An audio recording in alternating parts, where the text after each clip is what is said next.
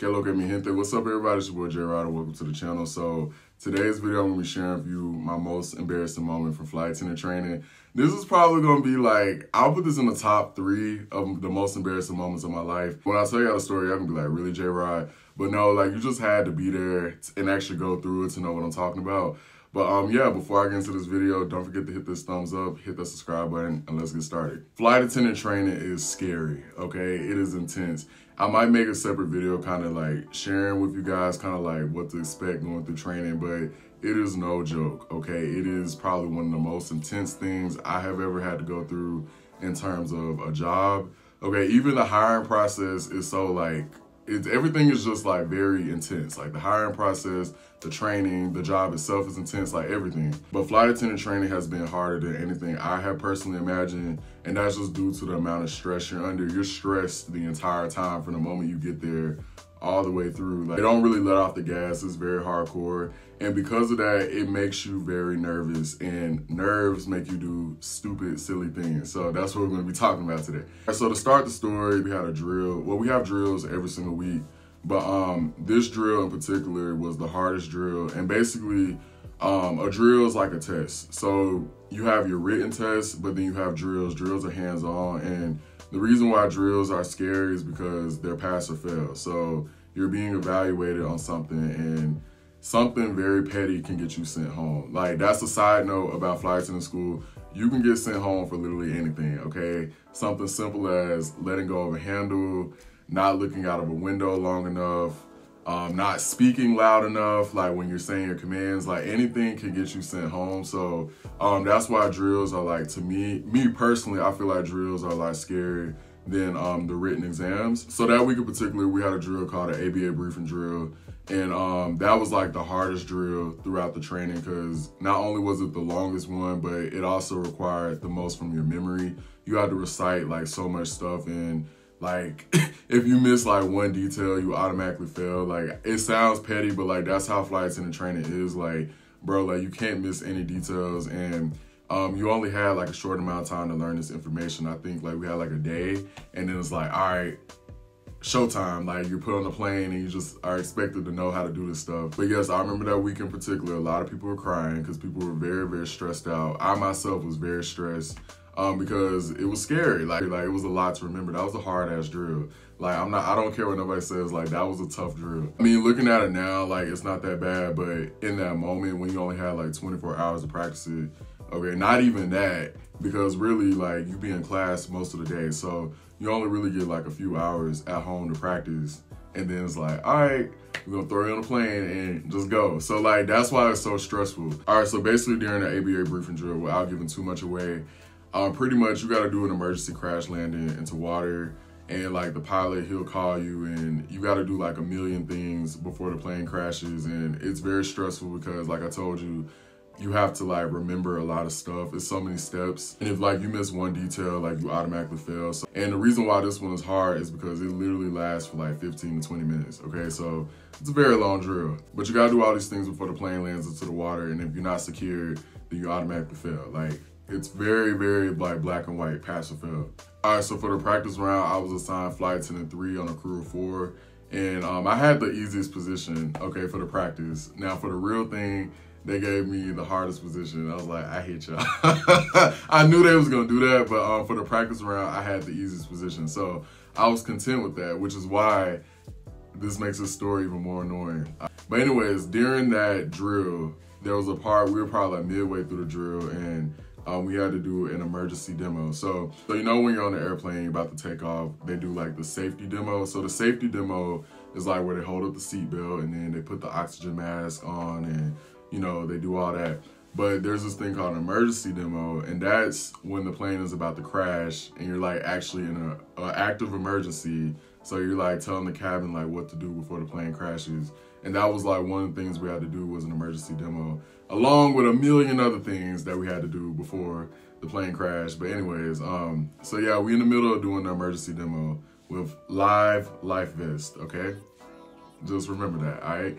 So, um, all right, so we doing, we in the middle of the emergency demo and you know, I'm in the aisle, I'm doing my thing, you know, I'm pointing to the exits and you know, I got my safety card and You know, like I'm doing I'm doing the whole thing. So about midways into the emergency demo, I realized that I still have my link in my hand. And basically what a link is, it's a, company issue iPhone. Every flight attendant has to have it's required by FAA. It has like all your manuals, your procedures, like everything you need for a flight attendant. It's like a flight attendant Bible, basically. Um, you have to have it on every single flight. So I still have my link in my hand. I was like, oh crap, like I don't need to be holding on to this. So I was like, let me put this in my pocket. So, um, all right, so we have like these training jackets. So I was gonna put my link in my pocket, all right? So I'm looking forward because, you know, we're still being evaluated. So we have to like, you know, look very professional. And um, so I don't look down. So I'm reaching for my pocket. I'm pulling, thinking I'm pulling the zipper, but my dumbass pulls the inflation handle to the damn life vest. Now, like I told you, on an emergency demo, they use live life vests because it's an emergency. Because when the plane crashes, you have to inflate your life vest and jump into the water. Okay? so, all you hear is.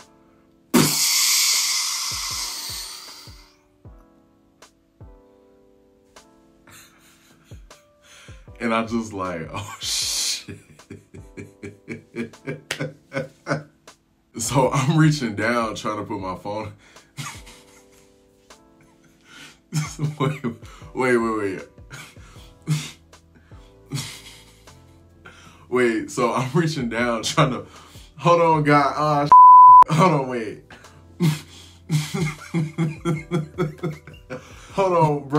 Like, I'm, I'm not gonna be able to do this video. This is right after the announcer, the um, the lead flight attendant. She's like, do not inflate life vests at this time. So all you see is this tall six foot four dude with this big ass life vest just like ballooned up and I'm sitting in the middle of the aisle and I'm just like, and all you just see is everybody snickering and laughing, bro. Like I saw so many people ducking their heads behind the seats. And then what made it worse is the instructors, they start putting their clipboards in front of their faces. So I know there was this one guy in my class, like he's very like chill, just very cool, calm, collected dude, very serious. All you can see is the vein in the top of his forehead, and you just see him trying not to die of laughter. I remember I just wanted to faint, like I just really wanted to pass out or like crawl in the bed and disappear. Like I just, I really felt like mortified. All you just see is everybody just laughing and giggling and I got like this big life vest on and I'm still being evaluated. That's the thing. So I still had to like pull it together because like I'm still being graded. So, but it was just very distracting because you see all these instructors and it was all the instructors. It was instructors that I never even met before. So then in my mind, I'm thinking now they don't take me seriously. They're just laughing at me I'm like, this is their first impression of me. Like, I'm just like this goofy flight attendant. And one of my instructors, he was laughing so hard, he actually left the room. Like, he walked out the room.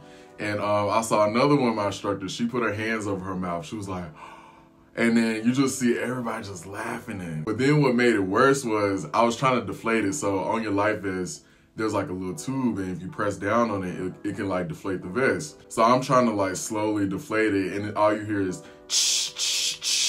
and then you just hear more people laughing and giggling. I, I was like, bro, I look so stupid right now. So, you know, I had to still continue on with my briefings. And as I was trying to brief the passengers, everybody was laughing at me. And they weren't, nobody could take me seriously with this life vest. And like, you know, the planes are already small. So I'm like bumping into stuff. And bro, it was so embarrassing. And then this is like the worst, this is not even the worst part.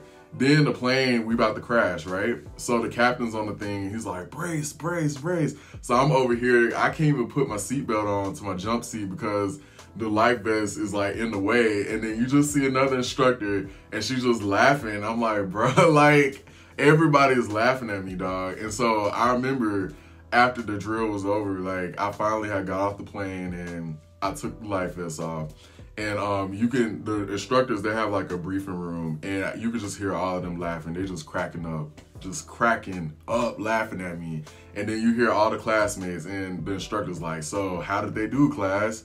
And then somebody's like oh they inflated their life vests and then everybody just busted out laughing. Then one of my crew partners she's just over here wheezing. I'm talking about wheezing Okay, um, she's supposed to be, she she was supposed to be in her brace position. She over here leaning over like laughing because she just could not stop laughing. So then we get into the debriefing room, and then the instructor comes out with the clipboard. And he's like, Gerard, Gerard, Gerard. and I'm just like, bruh, like, I know, I, know, I, inflated my life vest. Like, we don't gotta go there. And I had another one of my core instructors walking in, and she was like, yeah, let's not try to do that for the real thing. And I was like, note taking, got it. Uh, everybody was laughing and it was funny as hell. Y'all, it was funny. It was hilarious. And I remember like people was coming up to me, they was like, yo, Gerard, like you made the class laugh so hard today because everybody was so stressed. Like every, it was so tense because I told you everybody was like crying that morning. So they said like you low key just like broke the tension because you made everybody laugh. Like, thank you for that. And I just was telling them like, you know, that wasn't my intentions, but you know, um, but when I tell you like everybody kept laughing, even like on the bus ride back home, everybody kept talking about it. Then the other classes found out about it. People in the night class knew about it. I'm like, how y'all even know about it? But everybody, you know, was just telling everybody around the hotel, like Gerard inflated his life is. And then so you just walking past people in the hallway, everybody like, shh, and making sound effects and.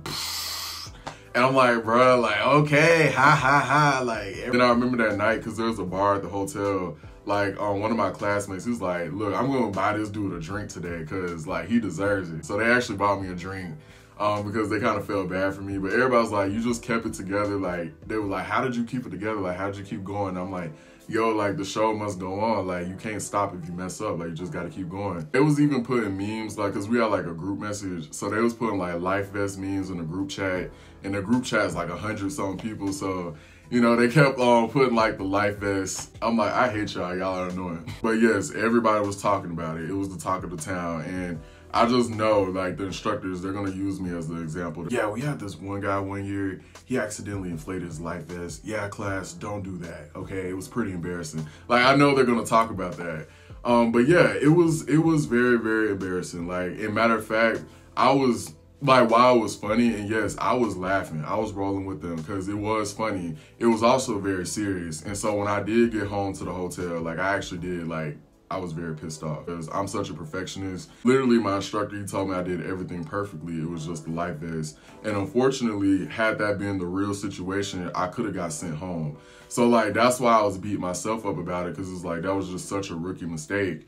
And you know, like I was like, bro, like you know better. You know, like that was just so simple. How could you like mess that up like that? But thank God it was the practice. But yeah, like I was really upset. Like I shed a couple of tears. Like that's how angry I was. I was like, bro, like you did something super stupid today. Like you could have got sent home if this was the real thing. I was very hard on myself about that. And just not so much the people like making fun of me. Like that actually made me laugh. Like the classmates, I loved it. Like the sound effects the memes, like people just like laughing about it. It was like the instructors, I didn't want them to not take me seriously, especially the new ones who I never met before. When they just saw me, like that's their first impression of me is like, this dude is a joke, pretty much.